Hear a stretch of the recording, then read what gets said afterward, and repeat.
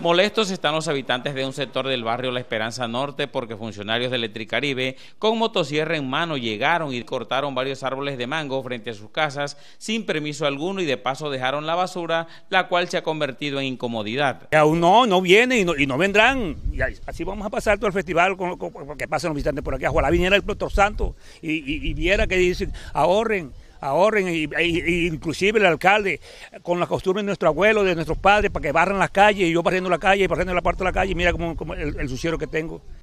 En la carrera 21 con calle 6, más de seis árboles de mango fueron sometidos a tala por parte de funcionarios de Electricaribe, lo que los vecinos consideran un asesinato porque primero no solicitaron permiso a los habitantes del sector, no echaron sellador o cicatrizante a los árboles y de paso dejaron la poda que lleva más de 10 días causando molestias. Pero con, moto, con motosierra en mano llegaron y se montaron que no piden ni permiso.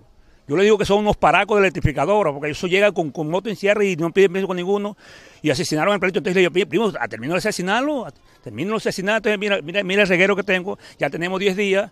La empresa Eléctrica Caribe recibe críticas diariamente por estas actuaciones, sin embargo, hasta el momento ninguna entidad, llámese alcaldía, consejo municipal o corpo Cesar, impide que esta clase de procedimientos se siga dando por parte de la empresa prestadora del servicio eléctrico.